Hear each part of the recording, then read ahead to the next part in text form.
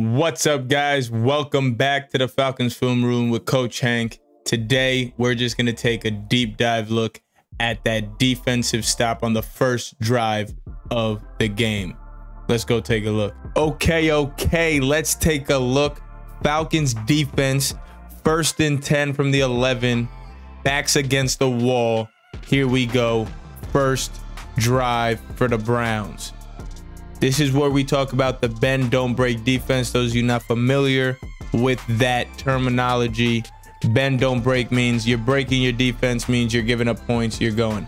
Bending means, you know, you give a little bit, but at the end of the day, you bend back and you hold strong. So the Falcons did a lot of that, you know, by keeping touchdowns off the board, holding them to field goals, fourth down stops inside the 10, inside the red zone. It was a good day.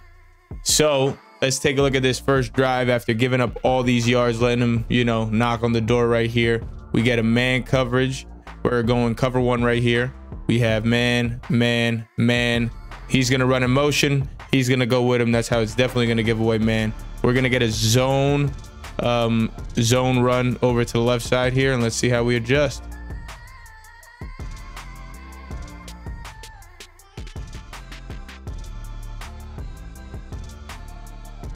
Good initial push. You know, offensive line isn't getting a push. We have two guys about two, three yards in. We have the blitzer coming. Doesn't get a good angle on him. Doesn't get the block. We're able to make a tackle. So, great first play. Maybe they get a yard or so here. Let's take a look at it from the tight angle.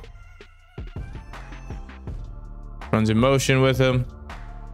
There it is. Good job by Evans to get up in there. He thought he was reading that block. He thought he'd have something there. He was going to cut back. Doesn't have it. Mykal Walker does a good job off the edge. AK-47 does a good job staying home and squeezing down. All in all, good play. Here we go. All right, so this is one play I am going to take a deep dive into for those of you, help you understand a cover two defense, what the defense might be looking at, and how I think maybe they could be reading it. But then again, I don't like to say what they are and aren't doing right because at the end of the day, I'm not in that film room. I don't have the playbook. I don't know their reads. I'm just going off of very basic things and things that could have happened on this play as well. So I know you guys see a lot of bubbles here. You're like, what's going on? Here's what I could do with this. Here's our cover two. So we have Terrell responsible for this bubble right here. He's responsible for the flat. Hawkins back here. Grant, this half. You're going to get a deep sink, okay, from this middle linebacker. He's going to take away a deep inside route. And frankly, we're in the end zone, so you want him to take that away. This linebacker, hook curl zone. This linebacker, hook curl zone, okay? Now, with that being said, a lot of communication has to happen. All right, but let's go over the route combination. What we get here is a flag and we get an arrow route from our guy right here. We're to get a post. We're to get an in and we're to get a drag sit right here. This is the route combination you're to get. Okay. So based off of the cover two, let's talk through it before we see the play happen. Okay. Terrell is responsible for the flat. Okay. So his eyes, he's reading one mainly, but he knows this back. He's got to get the back out of the backfield if it's coming. This is the second receiver here, but he can read and help with Amari Cooper because at the end of the day, they always say give up the five dollars, don't give up the twenty dollar bill. Right? The twenty dollar bill in this case is the end zone route. The five dollar bill, let him catch it up front, but you got to make the tackle. Over here in Njoku as a post. So in a cover two, realistically, this guy's going out, this guy's going out. If this linebacker doesn't do a good job of sinking and reading and gets his eyes mixed up with the drag sitting route here, this is wide open. Okay. And maybe that's what they were looking for, but they're not going to get that right now. Okay. What we get here is Terrell when you when I run the play, Terrell does an amazing job of taking away what Jacoby was reading off off the rip. Okay, he's gonna get the corner out here, and Jacoby's reads the cover two. He's up. He wants to go to Amari. but the way he sinks, he knows it has to be a perfect ball or else Terrell's picking it or deflecting it because he's able to play both routes. So you see how this route's to end here. This route's to end here. He does a great job of sitting in this area playing the cover two. So he does a good job. The back end is where I don't like how this play turns out. Okay. Um, here, like I said, there could be a trips. So it's tight end trips. There could be a trips check that I don't know. But it looks like cover two. They play it kind of like cover two. And this is where I'm just confused on the communication part of things or the matchup zone thing. This cornerback, okay, he can read two to one. What that means is if he reads this guy, okay, first, the second receiver, he's going to read him first because it's going to tell him what number one might be doing or if he just can snap his eyes to number one. So that's why I call it a two to one read. He's going to read two. After he gets the read on two, he's going to then be able to read one. So this uh, receiver's initial initial go is right to the drag route into the middle. Remember, he's responsible for the flat. So this is where you say, once two goes east-west, or in this case, eh, not east-west, because if he goes down to him, if he goes to him, he knows he's going to have, you know, to start playing him and check what number one's doing. He literally goes to the one place that allows him to stop reading him. Once he goes inside, he does not have to read him or his eyes should snap to one. Now, I'm not happy with how Hayward played this because it actually makes no sense. I don't know what he feels or what he sees that at some point in this play, he almost takes a step this way to take away the deep third over here. And nothing is indicating going that way.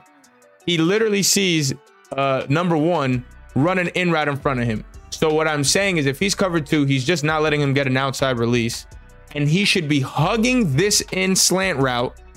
And while hugging it, he should be communicating and yelling to Anderson in, in, in. Now, the next thing is Anderson, same thing here. He can read three to two. He's got this hook curl zone, right?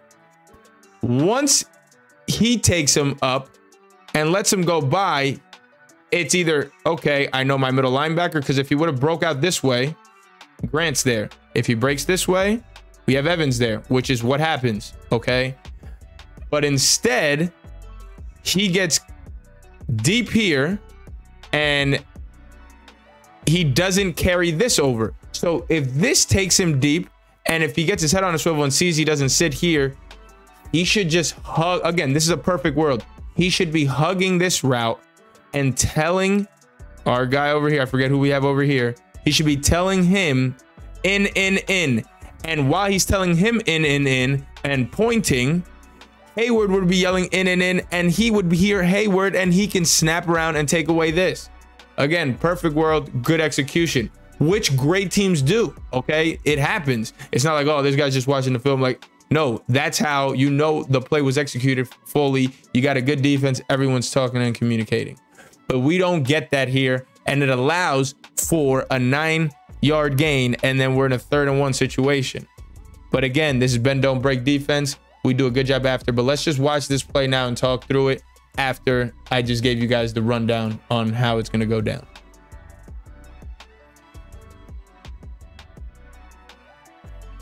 Boom.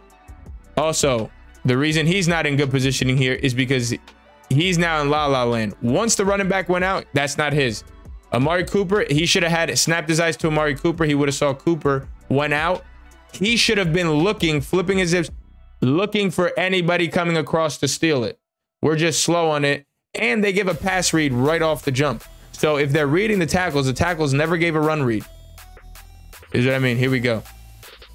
Hayward. Everybody watch Hayward right now. Hayward's going with him. Ball's not even out yet. And now the ball's about to come out. And Hayward even takes a step back. Where are you going? Okay. Not really interrupting the play. We can run it back now. Let's watch Terrell. All right. See how he's he's not jamming him or anything. Thinking. Oh, he was about to take it, but he's reading his eyes. It's zone. His eyes are in the backfield. He's running a flat corner route here, which helps Terrell. Once he sinks back, ooh, doesn't like it. He comes to read here. And now he's throwing it there. Okay. Let's take a look at Evans. Evans is right here in the middle. Watch him sink. Uh, and Njoku takes him this way. He sinks with him. Maybe he bailed on this too early. Maybe he should have let Njoku go over the back of him. But he did. I mean, all in all, it was communication. I think we take this away. What I really don't like, though, is that there was no indication or anything that should have Hayward still over here. Hayward should have been hugging that. And if he would have hugged it and carried it more, maybe Anderson hugs and carries this more. And then there's really nothing there. And then the pass rush can get there. But all in all, that's all right. We'll take it. Third and one. We live to fight another day and stop him from scoring a touchdown. So here we are, third and one. Offense gets set quickly. They try to go with a quick snap. We weren't really set here, but watch Evans and Grant do a great job as well as the rest of the defense linebacking crew here.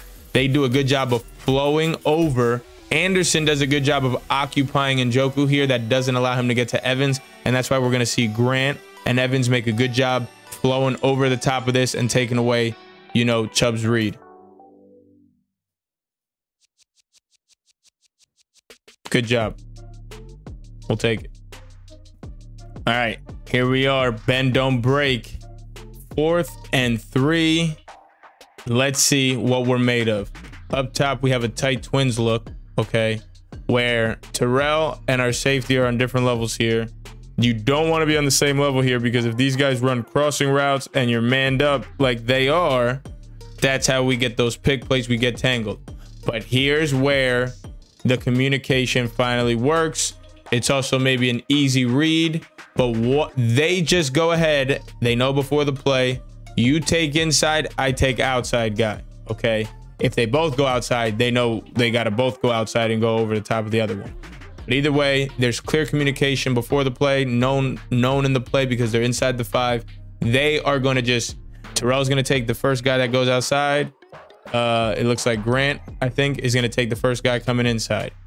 Over here, we give a zone look where I think we're in zone here. He's in this deep zone. Oops, sorry. He's in this deep zone over here. He's sinking over here. Okay. It's not true, man, the way they play Njoku. And because they actually keep in the other tight end here and they keep in the running back to block. And then let's see our guy, AK 47, get a good rush. All right, bang. Here we go up top. See, outside, he's going in. That's it. Terrell picks him up. Grant picks him up with quick slant help from the outside linebacker. Here, we're just not going to let him go outside of us. Now we're passing it off to the safety. Here, I just don't like how they kind of both like don't really know who to give him up. If he was looking here first, maybe they're tighter to him. Maybe they're because it's zone. Obviously, like I said, it's a zone read here. Their eyes are actually to the quarterback instead of the man. So that's probably why they saw he can't make the throw here. So they let him go. Now AK gets a good rush, but he just gives up outside leverage and this could have got dangerous and became a broken play. Could have became scramble drill where these guys got to find the closest man and just stay with them and run. Because right here, he loses his footing. And that's what allows Brissett to get upfield and now be able to make a play. But all in all, we still recover. Bad ball over the top of the end zone. Turnover on downs. Let's go, Falcons. Let's take a look at his rush from this angle. Double team on Grady. AK right there. Just just keep your feet. That's all. Just keep your feet. Let's not fall. All in all, great play. Give the ball to the offense.